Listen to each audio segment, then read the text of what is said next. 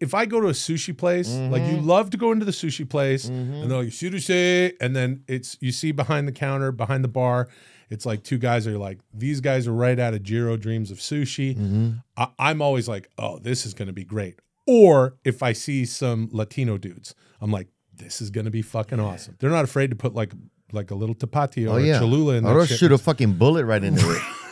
How come this is? yeah, Yeah, that's like- the restaurant, Oh, dog. did you hit it with the uh, with the the blowtorch at the top? Were they like, oh, seared salmon? No, it's just Damn, dog, there's a 22 cartridge in my huevos, dog. You know what I'm saying, bro? That's what I'm talking about. dog. believe how I uh, how I heated this up, fool. You want the egg Sinaloa? You know what I'm saying? What do you want for lunch?